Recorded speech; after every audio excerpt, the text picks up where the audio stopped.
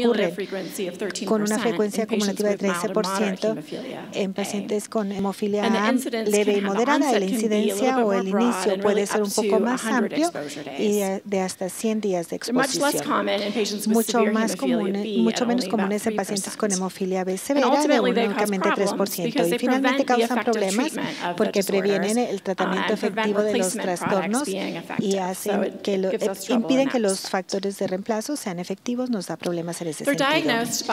Son diagnosticados mediante el ensayo Bethesda, que el título es el recíproco de la dilución que lleva a un 50% de actividad en la plasma de prueba en comparación con la plasma de control. Mientras más se tenga que diluir una muestra, más actividad inhibitoria existe. 25% de los inhibidores se pueden clasificar como de baja respuesta, o sea que a pesar de recibir cierto producto no vas a tener un aumento en el título y son siempre menores a 5 unidades de Bethesda. De estos, 10% son transitorios. Esto quiere decir que se van a quedar bajos y se desaparecen en seis meses sin importar lo que ustedes hagan. 75% de los inhibidores son de alta respuesta, quiere decir que su título de inhibición es mayor de 5 y potencialmente va a aumentar con la adición del factor 8. Estos son los inhibidores clínicamente significativos que nos preocupan. Cuando yo um, pienso en el tratamiento de los inhibidores y cómo los manejo, pienso en tres cosas. El tratamiento del sangrado, prevención de sangrado y erradicación del inhibidor. Uh, y bueno, esto es como yo lo estructuraría aquí. La base es el tratamiento del sangrado. Y voy a hablarles de Mazuzumab en un momento más, pero um, ahora tenemos una profilaxis efectiva y coloco la prevención del sangrado como la parte más importante tanto de los inhibidores como de los no inhibidores, o sea, de los pacientes. Emicizumab es un anticuerpo que se une a factores 8 y 9 y que nos da la confirmación, perdón, se une a los 9 y 10 y nos da la confirmación porque el 9A activa el 10 y tiene una actividad de cofactor que imita lo que hace el factor 8 en un en plasma normal.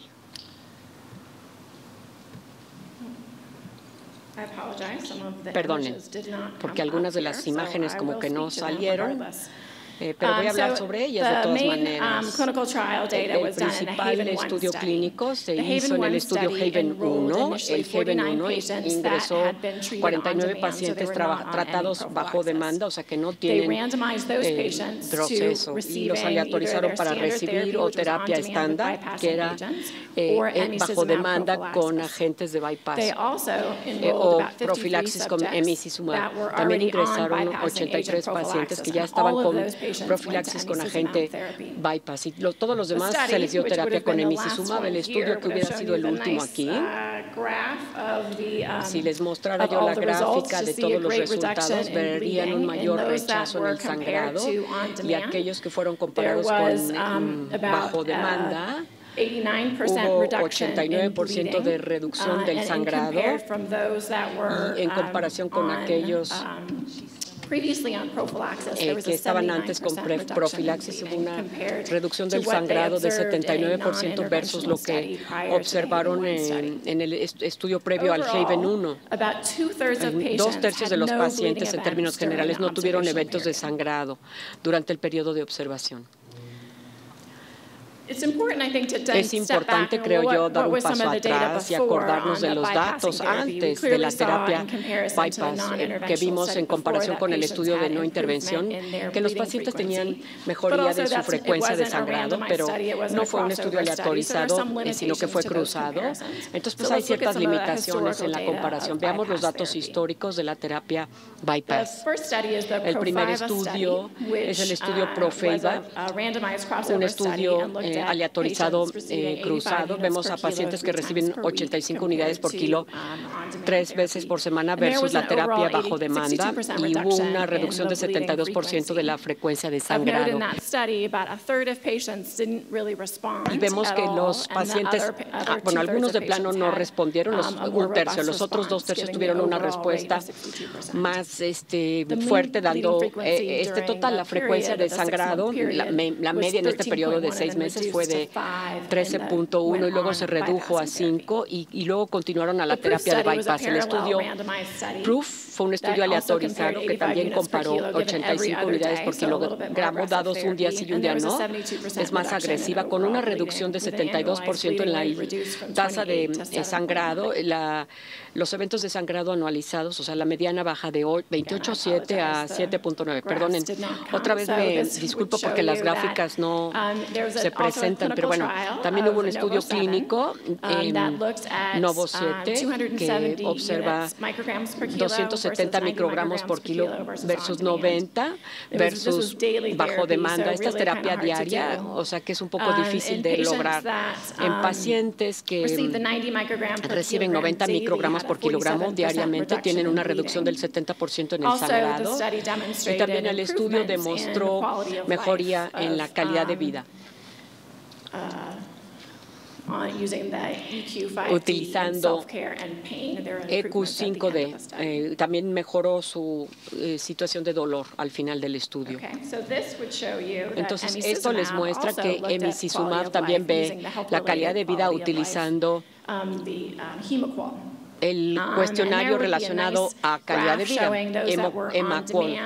Aquellos con tratamiento bajo demanda no tuvieron cambio en su calidad de vida realizado con el tratamiento ni a su funcionamiento eh, físico, pero los pacientes que recibieron profilaxis previamente y, que, y aquellos que previamente tenían bajo demanda tuvieron una gran mejoría en su calidad de vida relacionada con la salud, que llegó su, a su pico máximo a las cinco semanas y que permaneció durante el resto del estudio. Este estudio tiene que ver con Haven 1.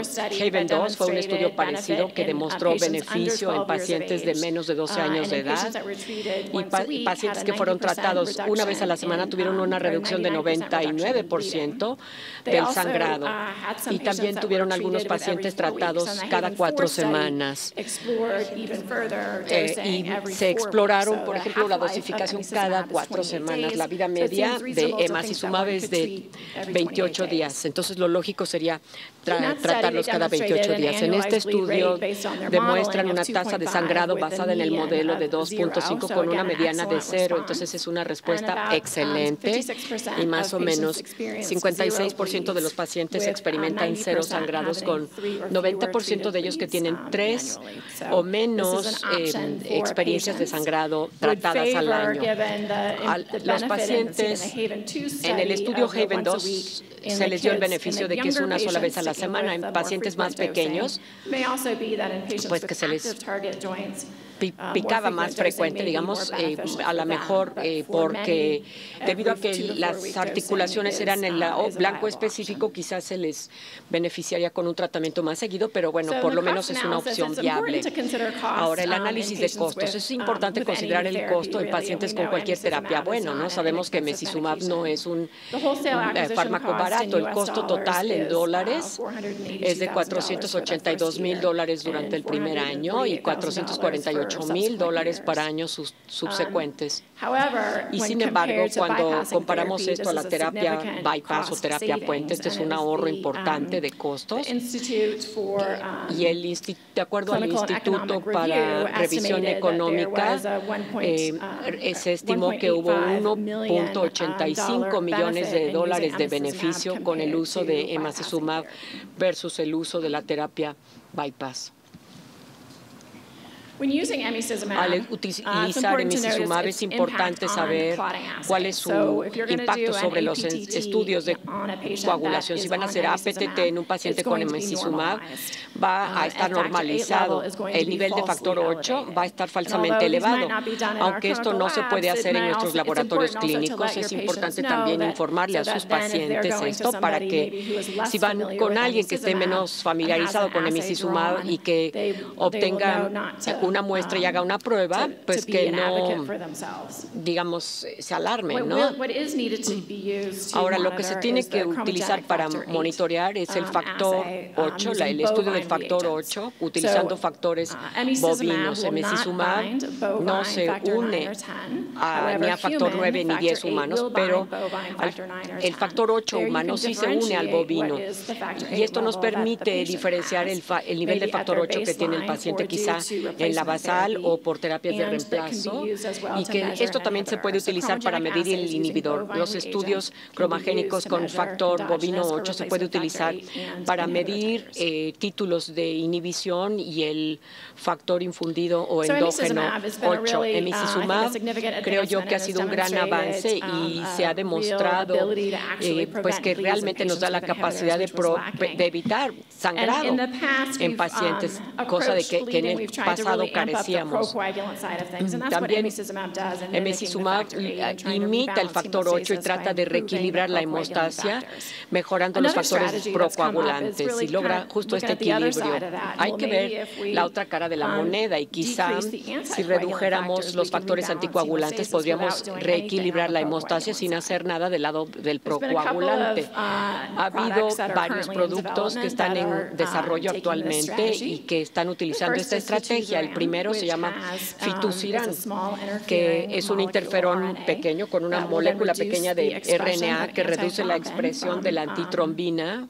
uh, de los hepatocitos y lleva a deficiencia de antitrombina. Esto llevó a una reducción del 80% de antitrombina y cuarenta y tantos por ciento de los pacientes reportaron que no había sangrado durante el periodo de observación. El estudio uh, fase 3 está todavía en curso con este medicamento. TFPI es otro anticoagulante natural y la estrategia eh, de TFPI que muchos laboratorios están utilizando eh, pues en realidad el primero de estos que se ha lanzado es con Sumab. Eh, su mecanismo de acción es que em, um, se une al anticuerpo para la vía inhibitoria del factor tisular y de esta fase, de esta manera em, modifica la, la anticoagulación. Hay en curso estudios fase 1B y fase 2.